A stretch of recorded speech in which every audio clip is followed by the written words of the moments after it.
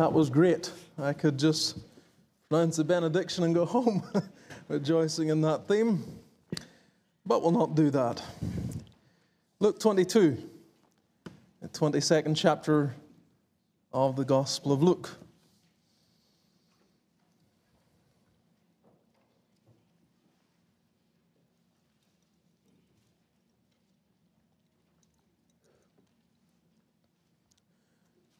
Christian sometimes is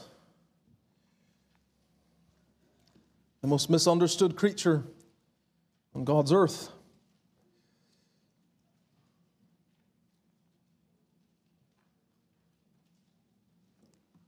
The world cannot fathom the victory we have already in Christ. They have no comprehension of what is already ours through the Son of God.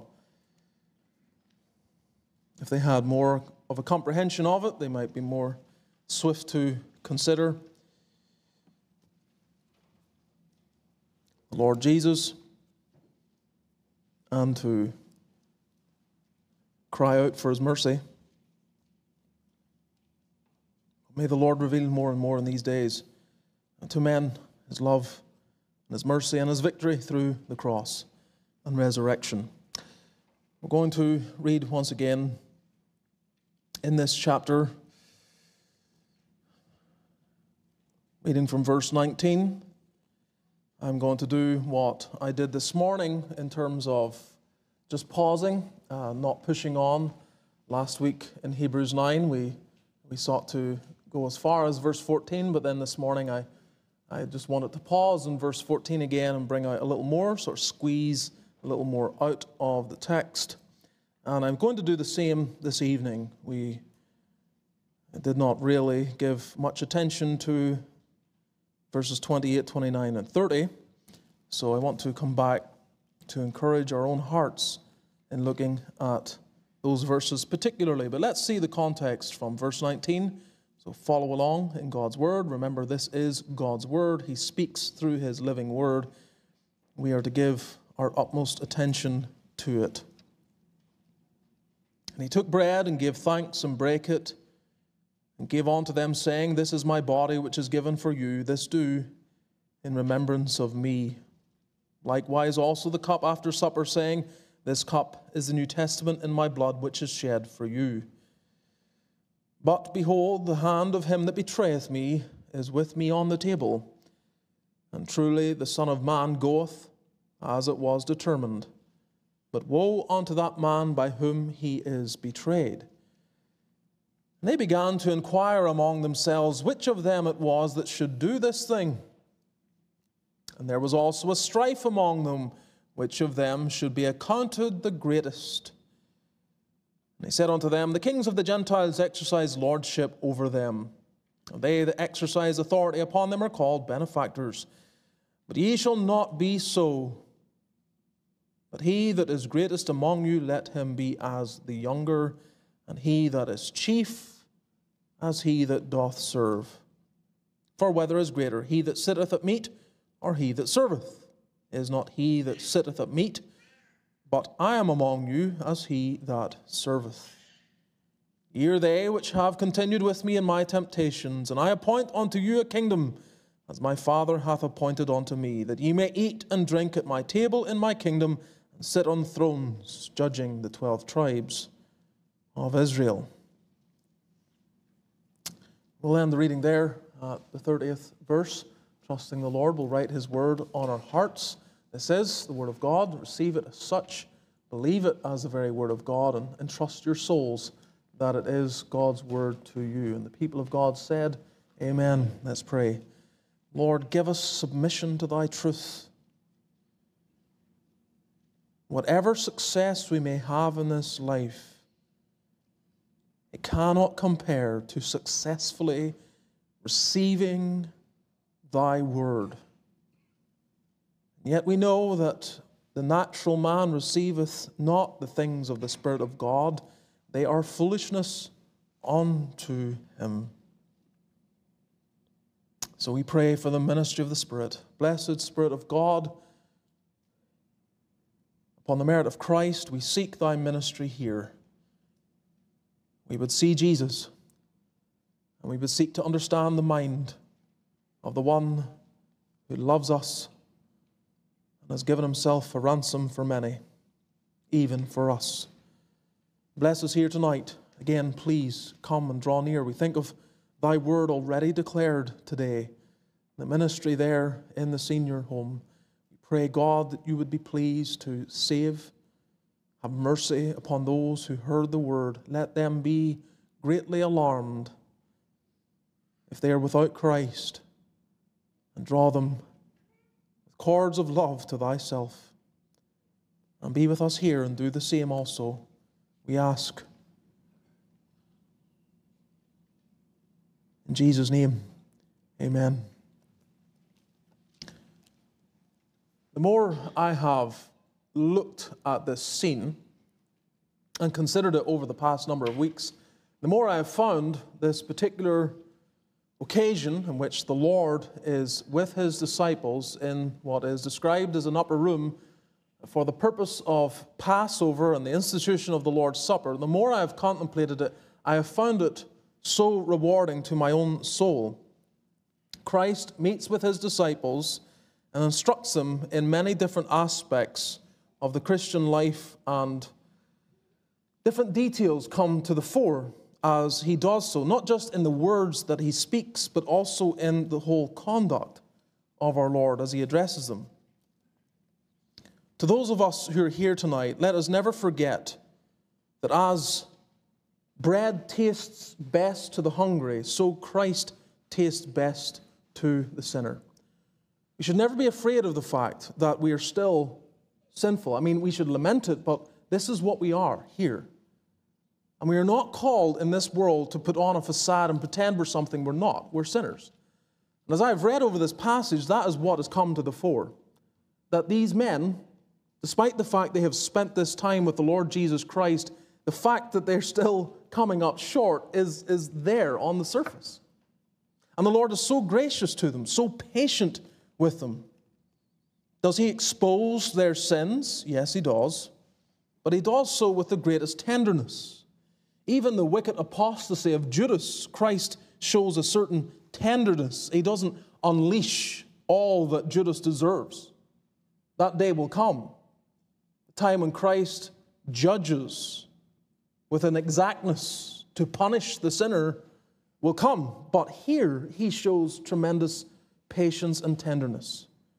I think we should keep that in mind as we, in our moving through the world, will come across Judas Iscariot, those who are unfaithful, even though they may have been in the church.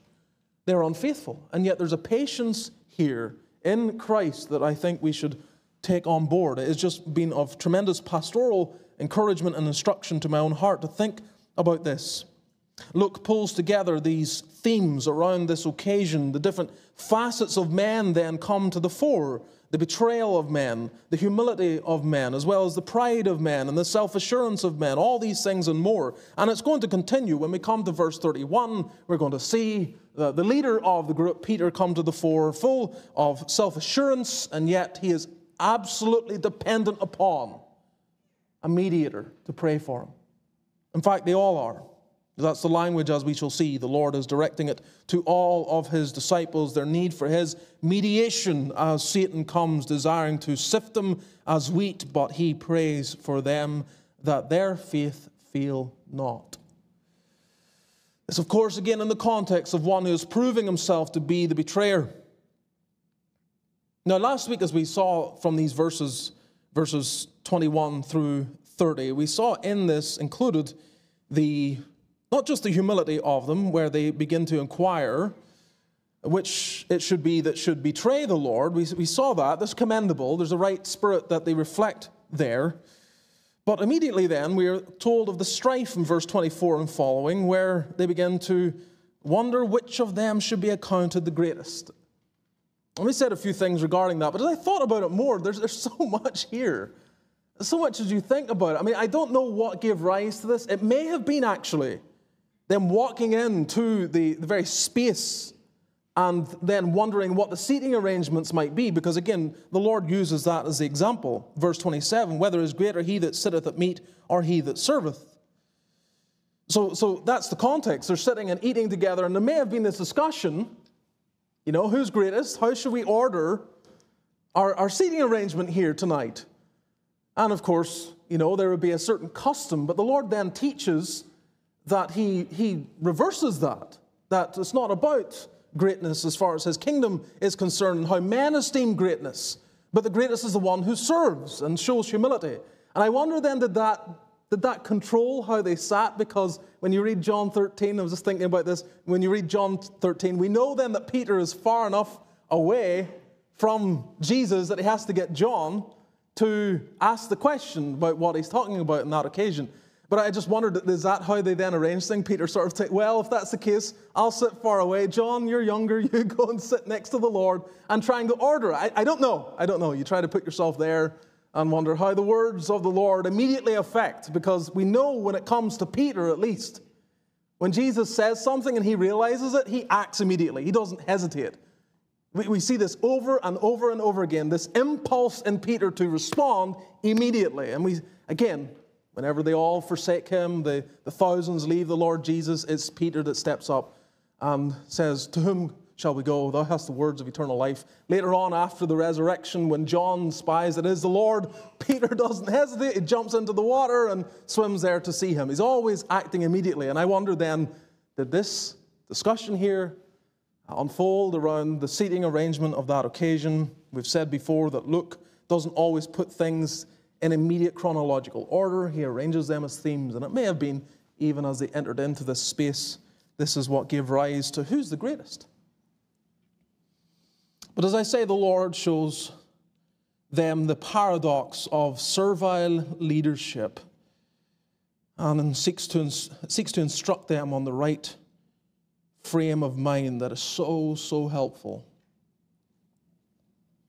We are not to think ourselves above the problems that arose in the Bible, and especially in the epistles as you read through them. And what comes to mind, there are a number. We could talk with the Corinthian church and the division that's there about the partisan, I'm a Peter, I'm a Paul, and so on and so forth, as well as the Philippian church, in which that tremendous church that brought such joy to Paul had an issue of division among them that was caused by pride. There was pride. That pride gave rise to contention. And so the example set forth in Philippians 2 is let this mind be in you, which was also in Christ Jesus. This is something we need to be told over and over again. That's why I say to you, when you sit here, or rather you, you try to sit with the disciples and the Lord Jesus in the scene, there's so much instruction for us. But Christ wants his people to serve in humility and harmony. And the Lord of glory was the servant of servants, and yet we, so far short, are prone to a pride and a sense of entitlement Reading this, this passage and, and considering the instruction the Lord gives in terms of his own example, I am among you as he that serveth. I ask myself if Christ had my gifts and limitations, would he be doing what I am doing?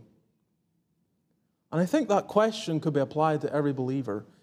Obviously, Christ, as the Messiah, had his role and his calling and was gifted to that end. But ask yourself, since we are all to follow in his footsteps and be molded after him and like unto him, in as far as the Spirit of God will enable us, if he had my giftings as well as my limitations, would be doing what I'm doing? And you ponder that. You start asking, is, is that, am I fulfilling what I'm meant to be doing? Am I really being the hands and feet of Christ according to what He would have me do. And I just leave that with you for your encouragement. As we look at verses 28 through 30, I've titled this simply Persevering, Suffering, and Reigning with Christ. Persevering, Suffering, and Reigning with Christ. This, there, there's a whole theology of this. And I'm going to look at the text, but you, you could actually go through the Bible and see this theme come come out of the scripture over and over and over and over and over again, persevering, suffering, and reigning with Christ. You look at the patriarchs, you find them going through that. they are called to perseverance. Abraham's given a promise. He holds on to that promise. Time goes by. He has to persevere and keep persevering. There are hiccups along the way. His wife gets involved, encourages him to go and have a child to Hagar, and so on and so forth. But there's this, there's this need to persevere, to suffer before you reign. And there's not one of us claiming know Christ that can avoid this path. And this is what we have then before us. I trust it will be of help as we consider it. First, persevering with Christ.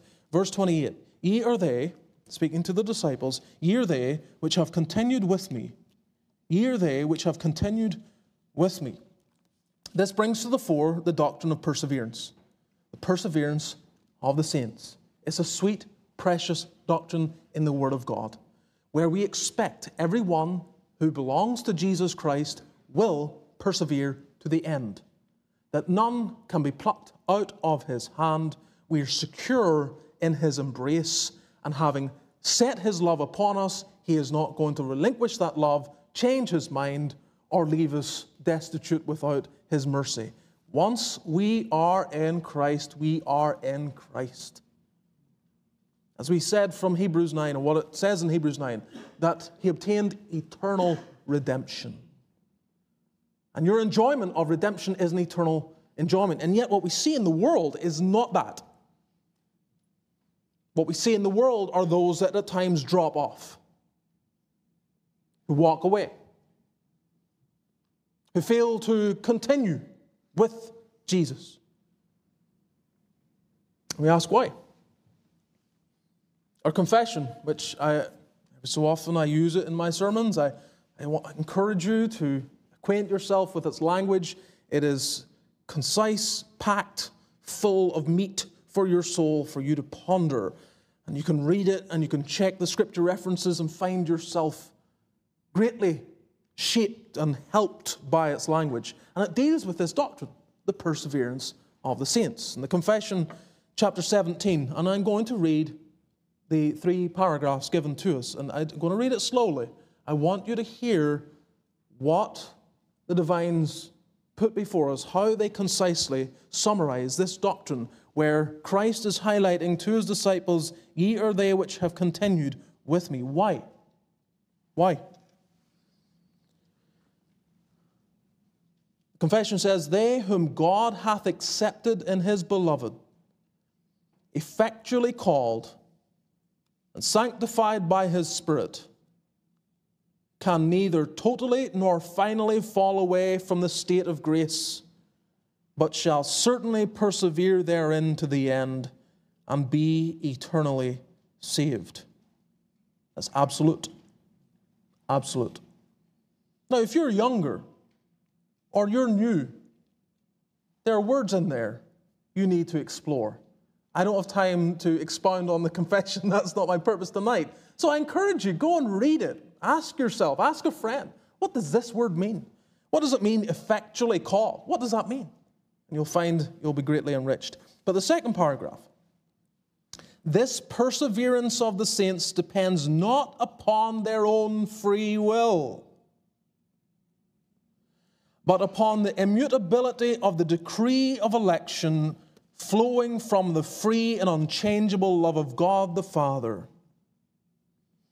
upon the efficacy of the merit and intercession of Christ, the abiding of the Spirit, and of the seed of God within them, and the nature of the covenant of grace, from all which ariseth also the certainty and infallibility thereof. So it's not you. Perseverance is not your work. It is God's. And we'll see that from the Bible in just a moment. Then the third paragraph. Here's where we see what we actually see in the world. Nevertheless, they may, through the temptations of Satan and of the world, the prevalency of corruption remaining in them, and the neglect of the means of their preservation, fall into grievous sins, and for a time continue therein, whereby They incur God's displeasure and grieve His Holy Spirit, come to be deprived of some measure of their graces and comforts, have their hearts hardened and their consciences wounded, hurt and scandalize others, and bring temporal judgments upon themselves. We see that, don't we? We don't always persevere in a perfect, consistent manner walking with Christ. We don't. Our personal experience within our own hearts, as well as what we observe, is one in which the perseverance of the saints does not manifest in this perfect, linear, upward movement towards glory. That's not how we experience it. We are so tested, so tried, so pushed and pressed upon that at times our wounds by the world, the flesh, and the devil are such that we limp or we fall back. And we experience backsliding, we experience despair and depression, we experience even times I have known believers who have walked away from the church. I mean, that's, that's what it says. It speaks there of. Uh, neglect of the means of their preservation. What's that talking about? It's the gifts God has given to you.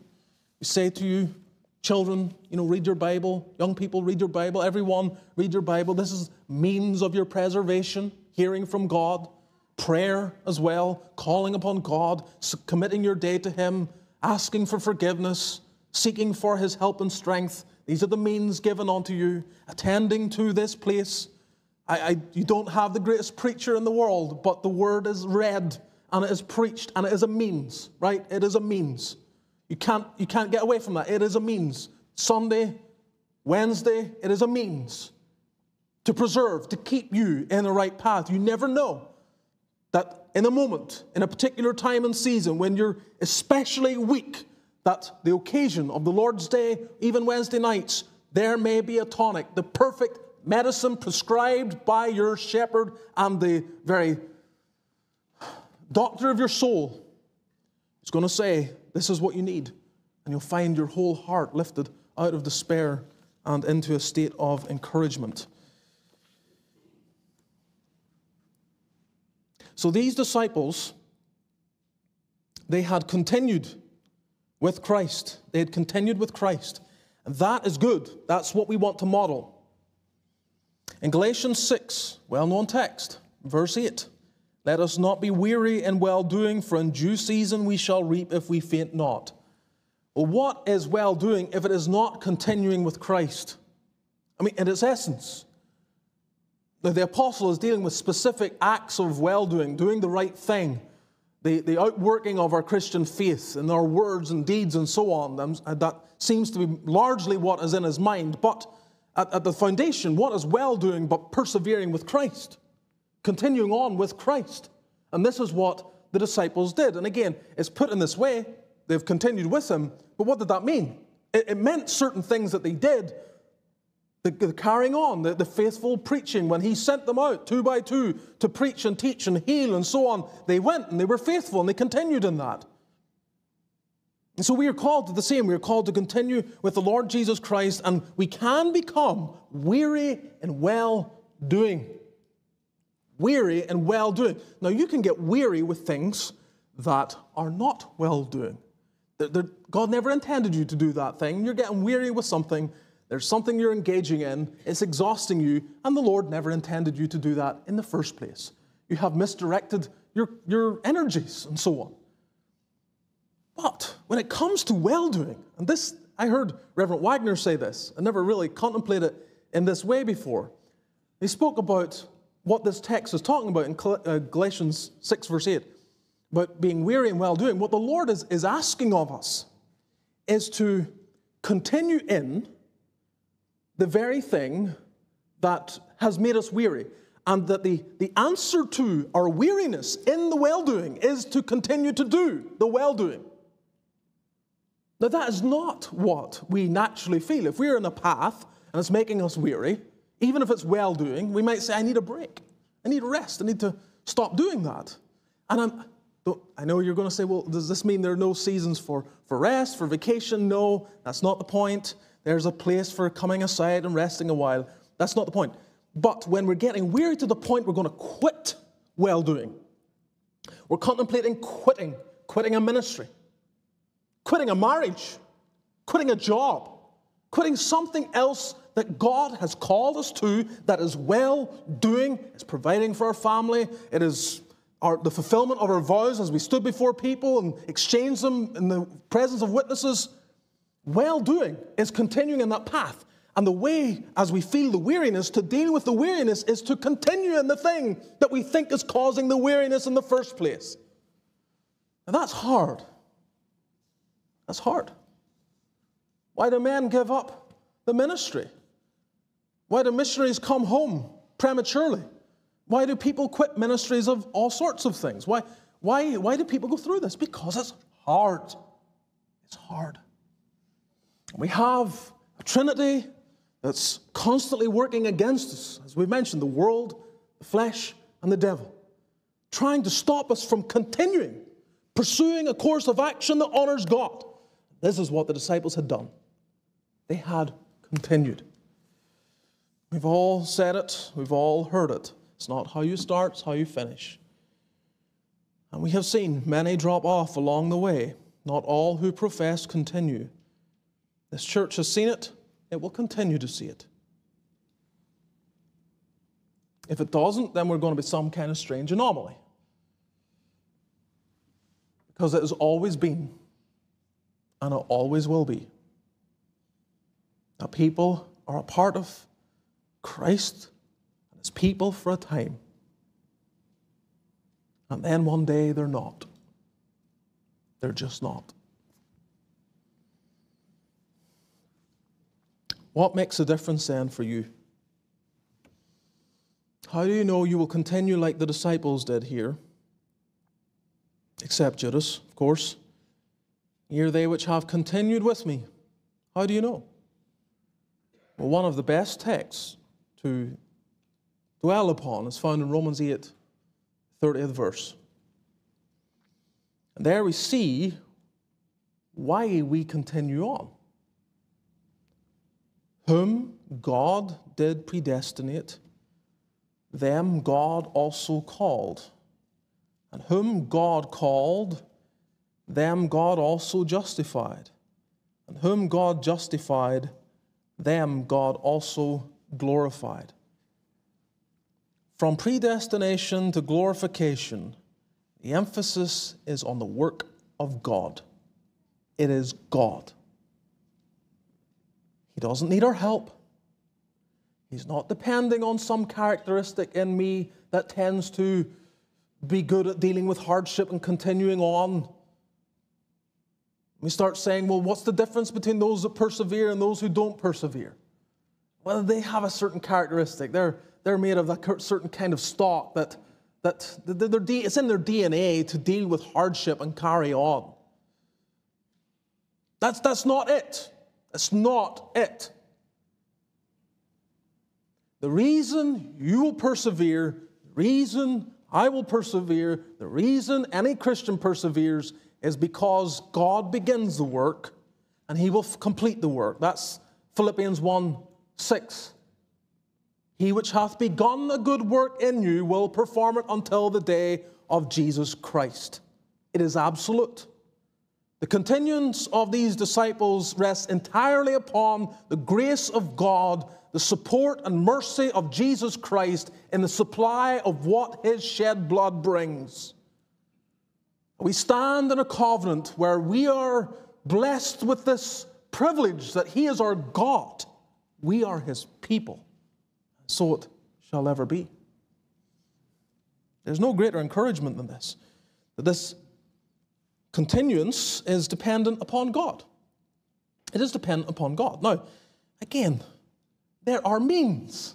We've been dealing with it through Hebrews because Hebrews is a sermon where it doesn't undermine the doctrine that God is the one who keeps, but it focuses upon means and it encourages encourages those who are tempted to fall back, return to their old Jewish ways and practices without the Lord Jesus recognized as the Messiah, that the answer to that is looking onto Jesus. Looking onto Jesus. So you say, well, what, what am I to do then to make sure I persevere? Look on to Jesus. If, there's something you have to do, it is looking onto Christ. But it's not so much something we do as it's something we must do as believers. Is not Christ our Lord and Savior, and is not our delight Him and what He has accomplished?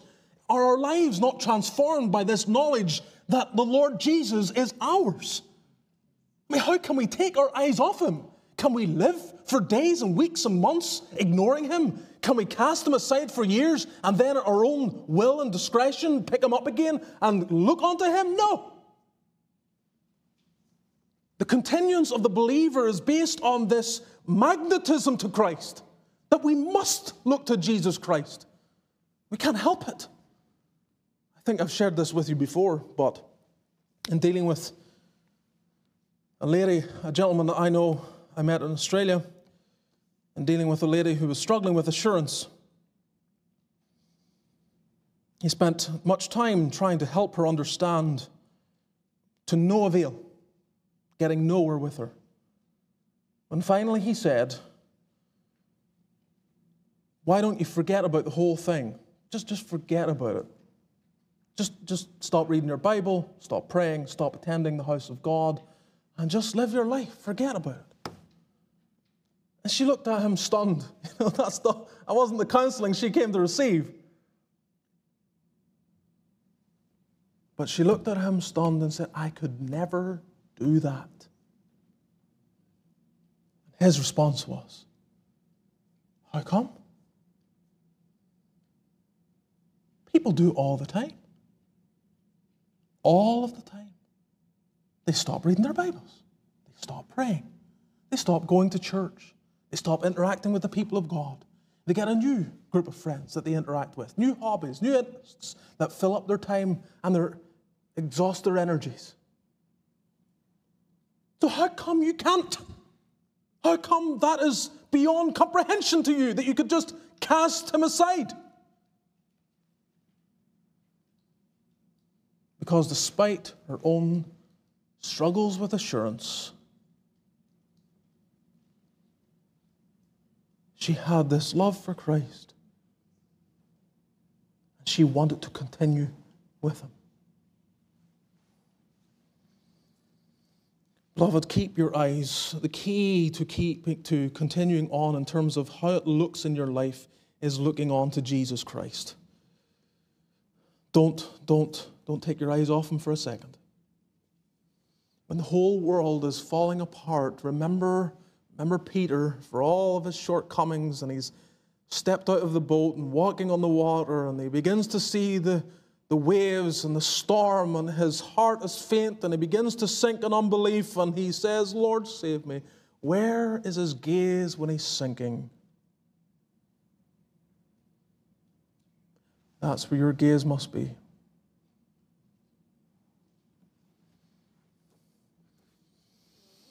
So, perseverance.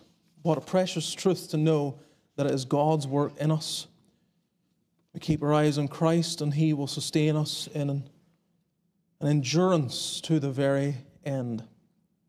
Secondly, suffering with Christ. Suffering with Christ. Because verse 28 says, Ye are they which have continued with me in my temptations. In my temptations. I think sometimes we read the life of Christ and miss the extent of his sufferings. Now, we note as he approaches the cross, that's very much something we're aware of. But leading up to it, in his ministry, when the narrative is focused on his words and his deeds, his miracles, his parables, and so on, we get only brief insight into his inner experience of sorrow as men railed upon him, rejected him, lied about him, spread gossip and untruths concerning him.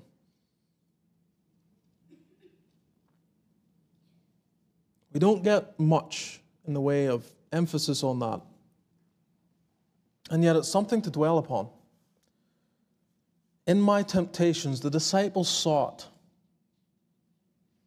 the disciples saw what the gospel accounts don't fully record. They saw this animosity, they felt it. They were very conscious, as we said last week, of the threat upon his life and their own. And so every night they would go and, and be very aware of the, the burden of being the Messiah, being despised and rejected of men, and the, the taxing nature of that animosity upon the frame of men. Some of you know something about this. When you have been in a particular employment where it feels like if it's not your boss, maybe people you're working with, there's, there's, a, there's, a, there's a tension there, the relationships are not good, there's, there's just, it feels like you're constantly under scrutiny or attack, that people are wishing your fall, they're looking for opportunity to fire you. You, may have faced something like that, something akin to that.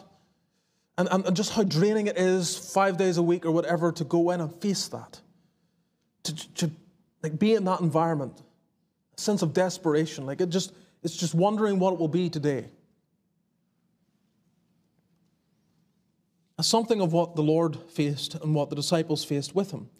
The American theologian B.B. Warfield has a short work titled The Emotional Life of Our Lord. It's worth reading because it's, it's not very long, it's, it's really quite short, but he, he deals with the, the little window we have into the, the inner life of Christ. If you like, the, the kind of that which we see on greater display to a wider spectrum in the Psalms that spectrum of human emotion between grief and sorrow.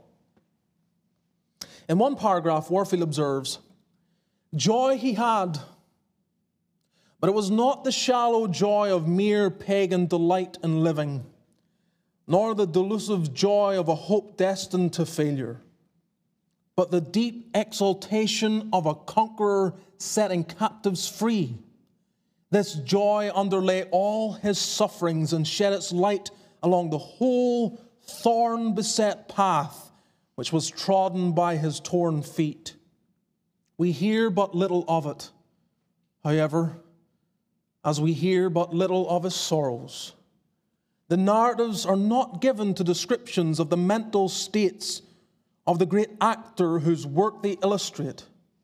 We hear just enough of it to assure us of its presence underlying and giving its color to all his life. End quote. Just enough. It's not the focus. It's his words and his deeds, but we get this little insight into, I think, what's encapsulated in this language of them continuing with me in my temptations. In my temptations. That all the sorrow and the burden that he felt and experienced this little window. These disciples had seen it up close and personal, and they had felt it as they attached themselves to him. They felt the onslaught, the identity with Jesus Christ brought it, no doubt, their way at times. It certainly caused them to fear for their own lives. But they continued with him in his temptations. Our Lord Jesus delights in this. He delights in it because his path on this earth was one of suffering. He is a man of sorrows, acquainted with grief. And he had to endure this. And as we have noted, he is, he is continuing in this path, setting his face as a flint to go to Jerusalem. That is this, this resolve to go to the cross. He must and he will. And his disciples join in. And they stay with him through all of that. And he delights in this. He delights in disciples willing to suffer. Don't get me wrong. He doesn't delight in the suffering in the sense that he has some kind of weird pleasure out of suffering, but he delights in their willingness to suffer with him and for him. He delights in it. Saul of Tarsus, at his conversion, when Ananias is sent to go and speak to him and address him in Acts 9:15 Ananias is told go thy way for he this is Saul later Paul Go thy way, for he is a chosen vessel unto me to bear my name before the Gentiles and kings and the children of Israel. For I will show him how great things he must suffer for my name's sake. Saul's conversion rattled the kingdom of darkness. He was an emissary of Satan, chief among those seeking to destroy the church, and in a moment, he changes camps and Christ takes him out of Satan's grasp and puts him in his own army to become a warrior for him. And it rattled the kingdom of darkness. Now we know this. We have this little insight in Acts 19 when the, the evil spirit cries out, Jesus I know, and Paul I know, but who are you? And we, we see something of how Paul was, was known. He was known because once he was this, at the pinnacle of all that Satan was trying to achieve in the destruction of the people of God. And then he becomes the pinnacle of one expanding the kingdom of Christ and gathering in Jew and Gentile by the preaching of the gospel. And he was known because he, he rattled the very foundation of the kingdom of darkness. But in doing so, in doing so, it was not without tremendous suffering. This man who is going to become key to the, the launching of the gospel into the far regions of the world. The man to whom, under God, we ourselves owe a great debt because of the direction he went and where he proclaimed the gospel. Because he came westward to where most of us, in terms of our lineage and so on, come from. And we owe a debt to this life, but this life, in terms of its fruitfulness, required, necessitated experienced continually suffering. Suffering. Now, we're averse to it, and naturally so. Naturally so. there's no joy in suffering. We don't delight in it, we don't wish it on ourselves. And yet, this is what God has set up for His people time and time and time again that we be with Him in His temptations that just as they were with him in his life and his temptations, so there's ongoing trial for all the church in all ages, and we, as members of his body, must participate in the suffering. The body of which we are a part is marked by wounds. Those wounds weren't a one time thing in terms of his crucifixion. In a sense, they continue on with the wounds afflicted upon the people of God who are members of his body.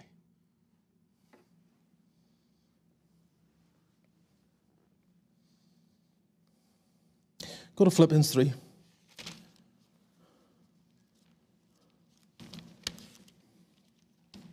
Turned here recently. I think it was in the, the prayer meeting on Wednesday.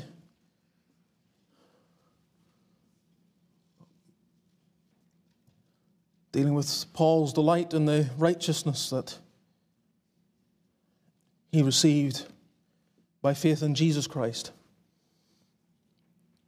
Um, Philippians 3, reading from verse 9, where he desires to be found in Christ, not having mine own righteousness which is of the law, but that which is through the faith of Christ, the righteousness which is of God by faith, that I may know Christ and the power of his resurrection and the fellowship of his sufferings, being made conformable unto his death, if by any means I might attain unto the resurrection of the dead. What is he saying? That his, in his pursuit of knowing Christ, he is not under any illusion as to what that will entail power of his resurrection. That's the, the, the principle of life that energizes the people of God, that keeps them going on. But it's also the fellowship of his sufferings, being made conformable unto his death. That is, identifying, experiencing, understanding what he went through, if by any means, that is with a sense of assurance. There's no doubt here. The if is not one of questioning, but as one who is with Christ and in Christ, he will attain unto the resurrection of the dead. The idea is if I am going to be raised to reign with Christ, this is the path. The fellowship of his sufferings.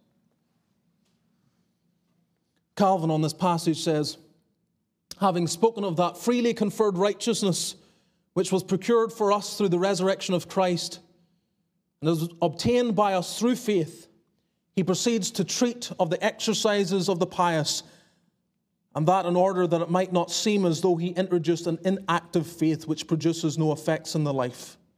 So he's going on from justification by faith alone, moving into what that will mean for those in Christ.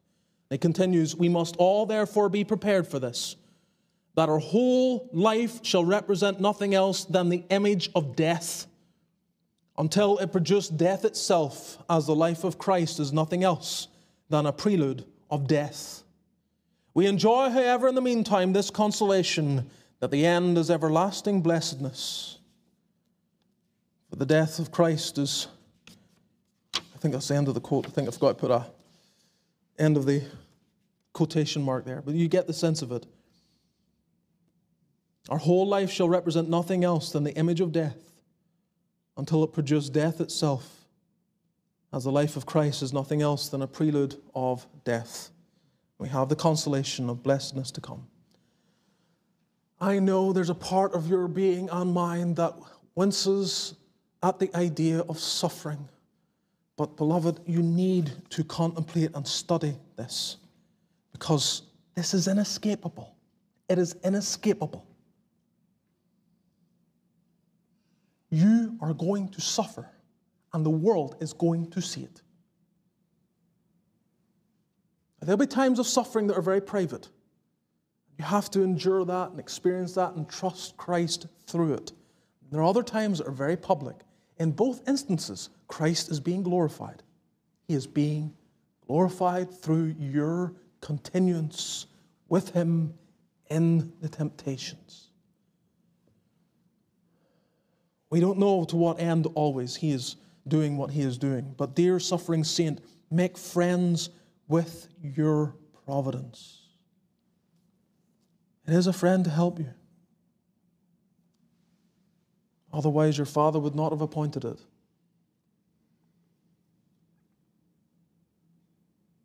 Oh, to have that mentality like Peter and John when they were beaten and caused to suffer and told not to preach Christ anymore, and they went away, rejoicing that they were counted worthy to suffer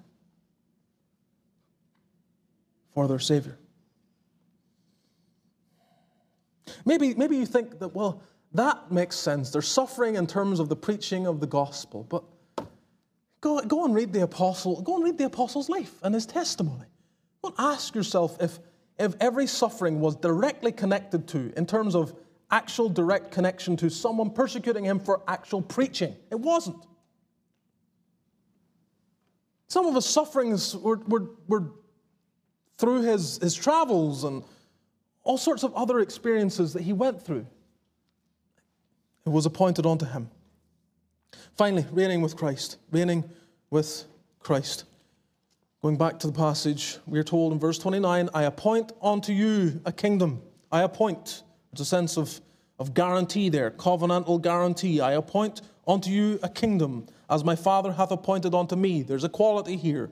I've been appointed a kingdom, and so have you, that ye may eat and drink at my table in my kingdom, and sit on thrones judging the twelve tribes of Israel.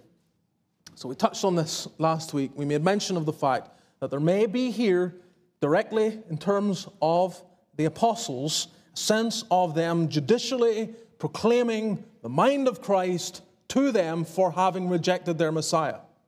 And in that way, they directly judged the 12 tribes. That may be included.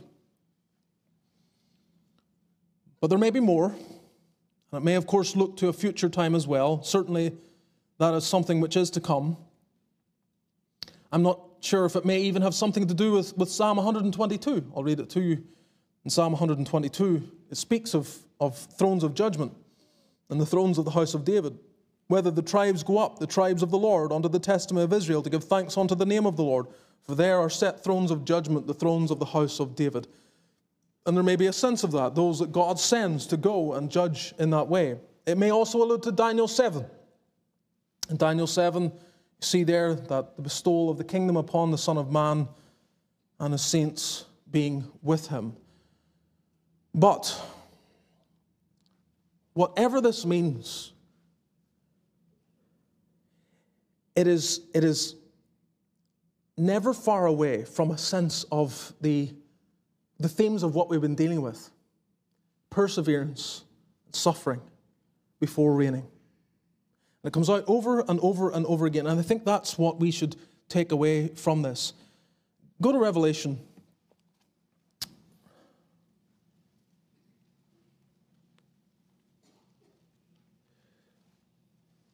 Paul tells Timothy that if we suffer with him, we shall also reign with him. So you see it in that text as well. But I, I want you to see something here from Revelation 2.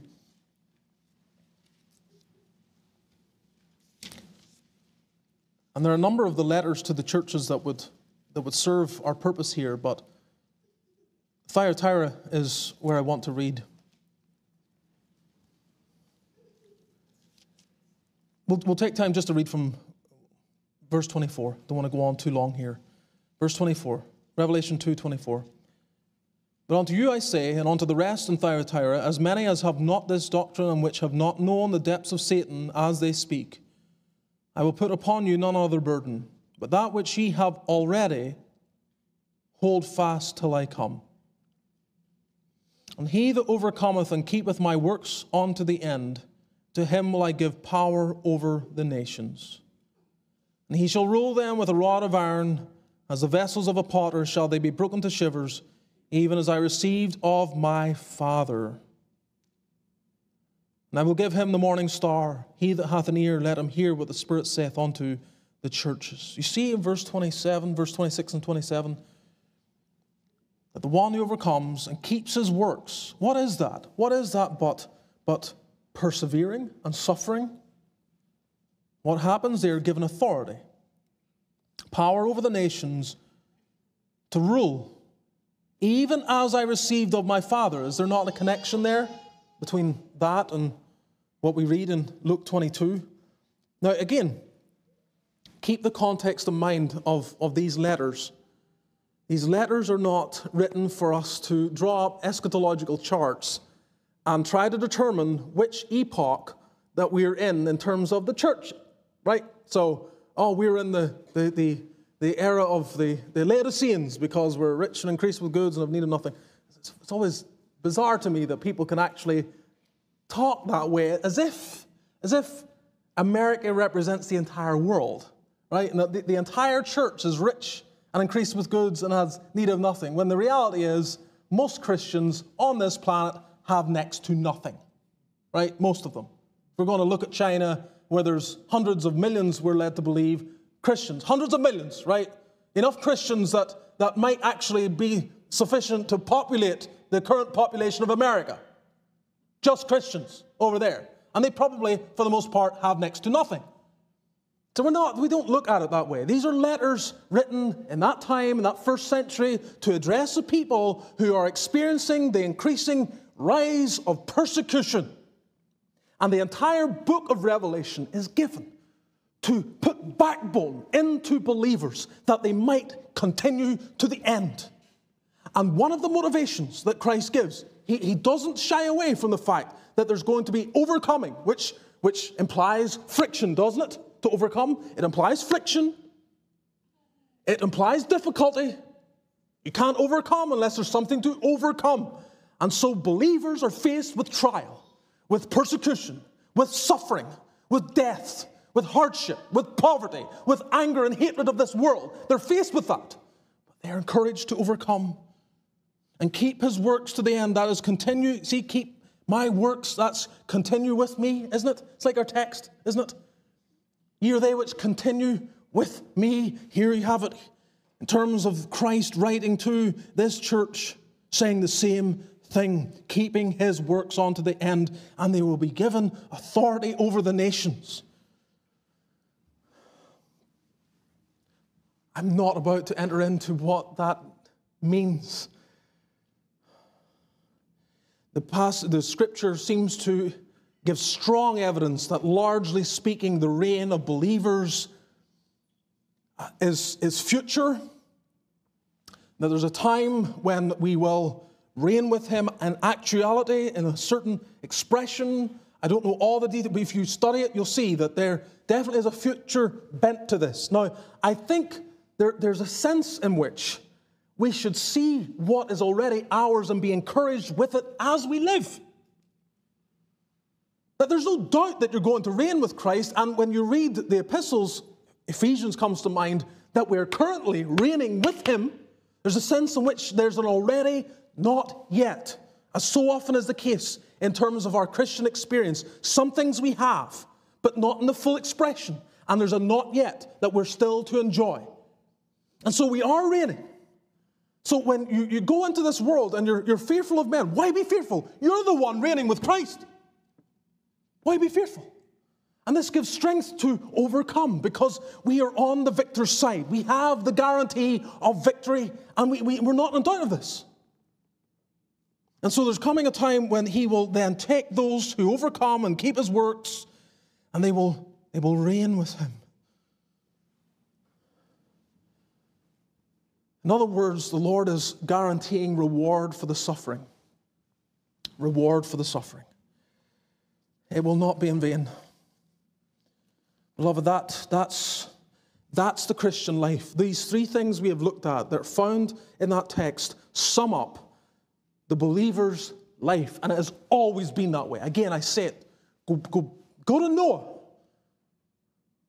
Go, go to the patriarchs. Go to the children of Israel and read the judges and so on and so forth. Read whoever you wish.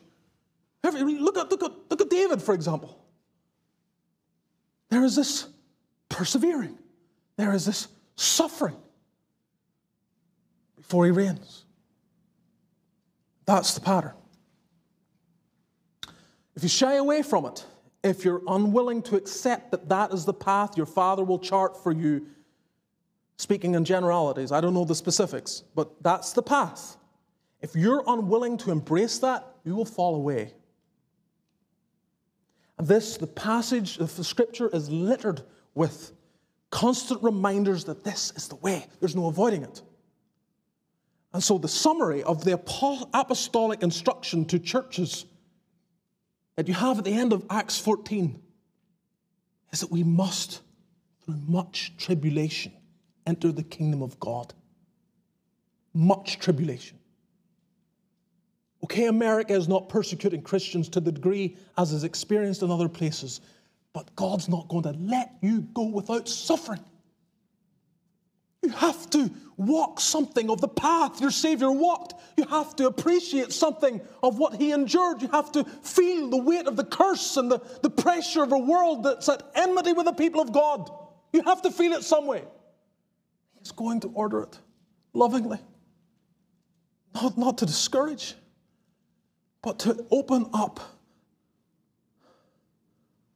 Little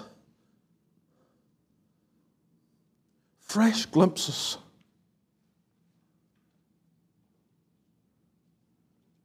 Of your Savior. Planting seeds of greater appreciation for who He is, what He has done for you. May the Lord help us. Let's bow together in prayer.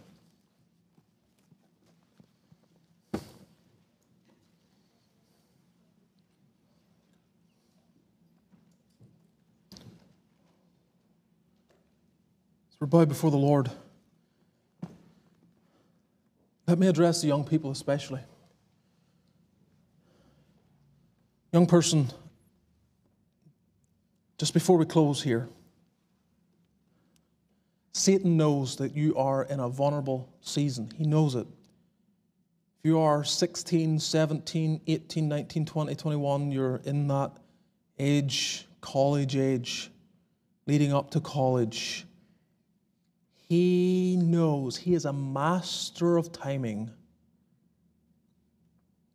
And just as you're starting to get acquainted with a sense of autonomy, He is going to feed into your mind. Don't serve Jesus. Do what feels good. Do what you want. Don't bother going to church twice and going to the prayer meeting. Why would you do that?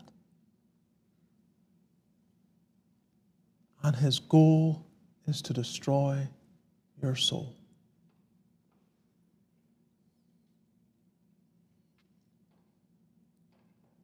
Lord, we pray, please keep our eyes fixed upon Thee. Give us. Give us a sense, even as we proceed in this passage, see your own weakness and that our confidence lies in the one who prays for us, that our faith fail not. We depend upon Thee, Lord. Remember Thy suffering saints here, Thy suffering saints online. Give Thy people such bounteous grace that they may find a way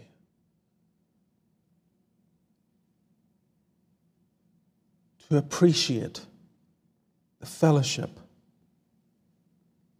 of Christ's sufferings. Lift up our children, our young people, knowing that some are entering a very critical few years. May thy mighty hand so powerfully rest upon them